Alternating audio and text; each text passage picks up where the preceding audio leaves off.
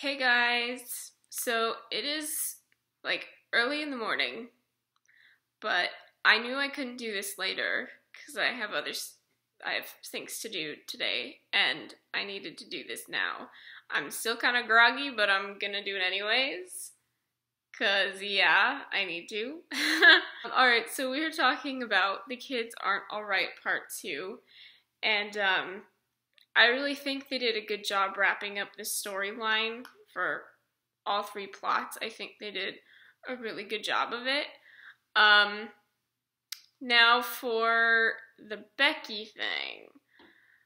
Man, and that's the thing. I was so like predicting that she was going to break up with him in this episode and you know, watching it I was a little hesitant because I'm like, well, maybe she'll take Drew's little advice and maybe give him a second chance.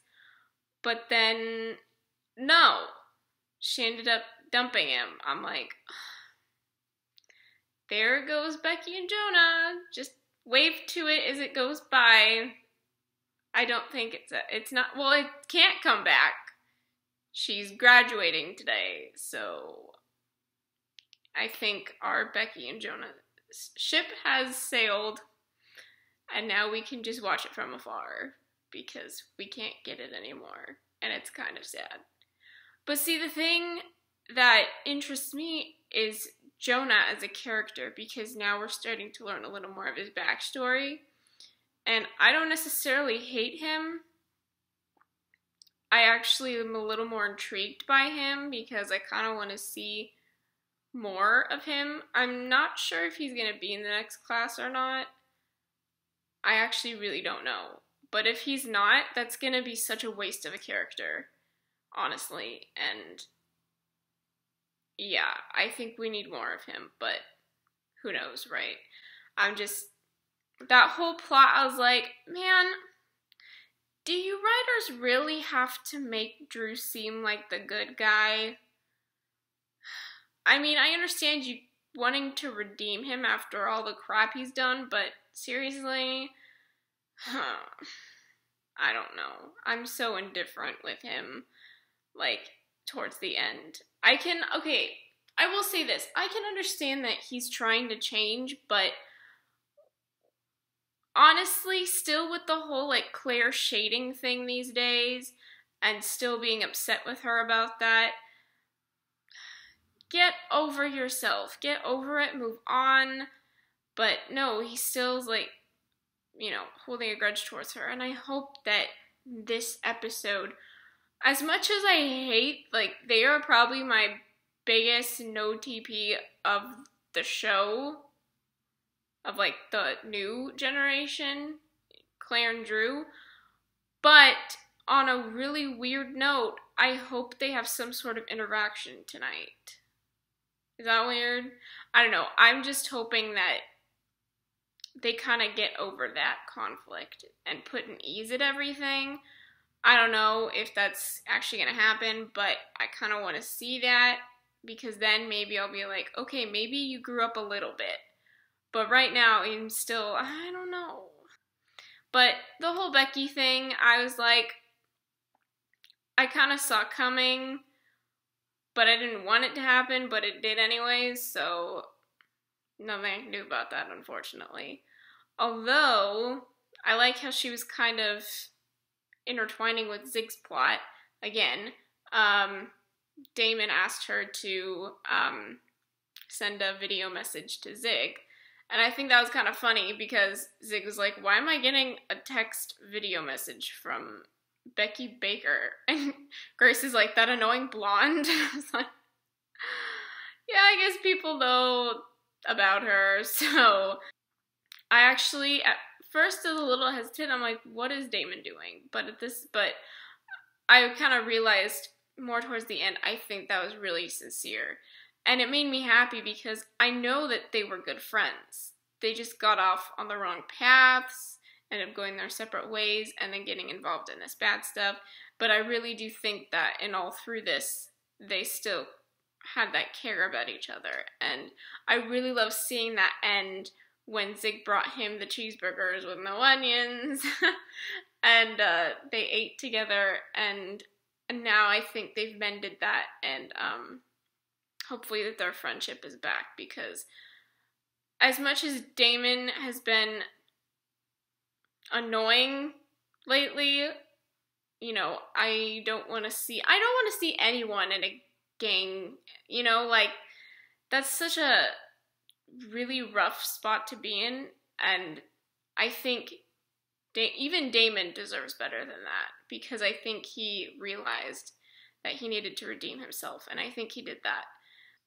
Oh my gosh. Okay, Tiny, mind blown just in this episode his development. That scene I was like, I was nervous, I was scared, but at the same time, like, it was heart wrenching. That was such an amazing scene. Kudos, writers. You did that so well. That was such an emotional scene for him because, as we all know, Zig finally realized that he needs to do the right thing, and he told the cops that it was Vince who shot Damon. I'm like, finally, we can be rid of Vince. Bye bye. Don't come back. Sayonara. Although, that was really weird how he was like trying to be supportive all of a sudden. I'm like, okay, like, you come to the musical, you give Zig flowers. Like, how random. Who, what, what guy gives another guy freaking roses? Like, I don't know. Like, I, I didn't get that, but I was kind of like, okay, you show one bit of supportiveness and somewhat okayness, if that makes sense. And, uh, no, no. But that was so hard for Zig because they took him away right in front of his face, and I think Vince knew that it was Zig, and I'm like, I just hope he gets put in jail, doesn't come out, doesn't try and hurt Zig or Tiny anymore, and we can be done with this whole thing. Wouldn't that be nice? I think it would be. But I'm amazed at how much I love Zig and Tiny as a friendship. That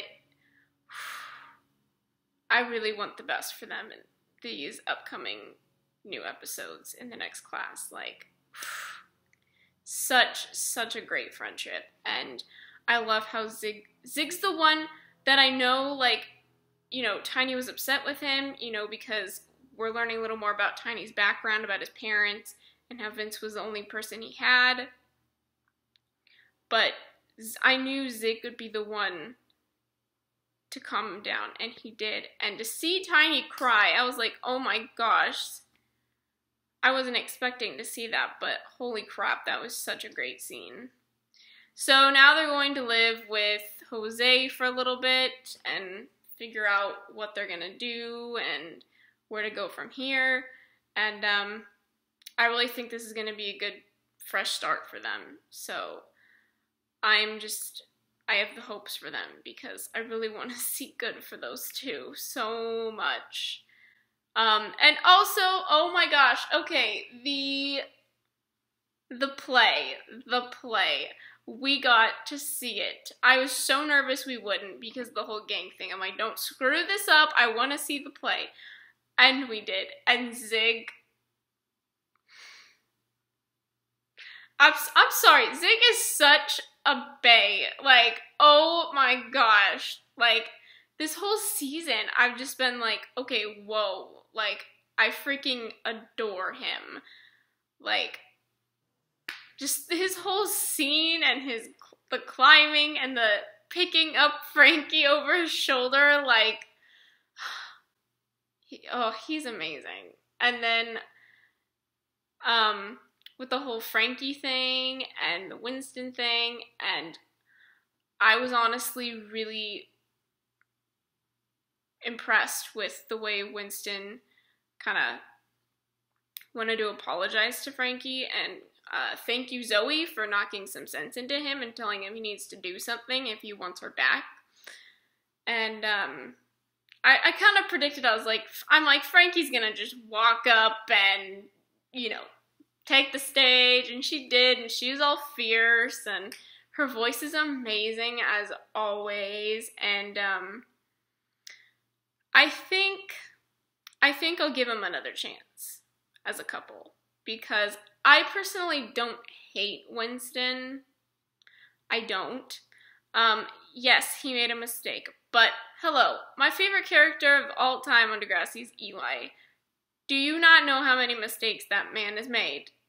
And I still love him. So I'm not giving up on Winston just yet. I really think that